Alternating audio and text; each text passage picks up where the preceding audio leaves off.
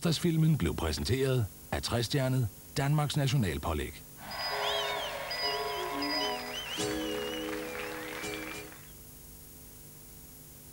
Og på næste torsdag kan de se den danske forviklingskomedie Min kone fra Paris med blandt andre Gita Nørby og Ebbe Langberg i hovedrollerne.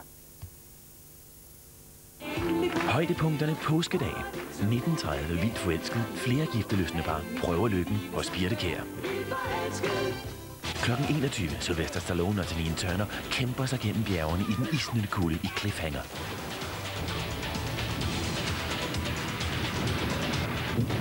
Og klokken 23. Bye bye, Daddy. Vores værste år. Det er højdepunkterne påskedag på TV3. Den 15. april starter TV3's søsterkanal 3 Plus med nye programmer og gamle kendinge.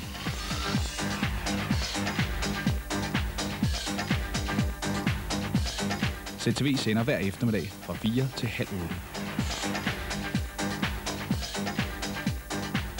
I weekenden tager Sportskanalen over med magasinprogrammer og dækning af en række store sportsbegivenheder. Du kan se de tre kanaler fra den 15. april, hvor du i dag ser CTV.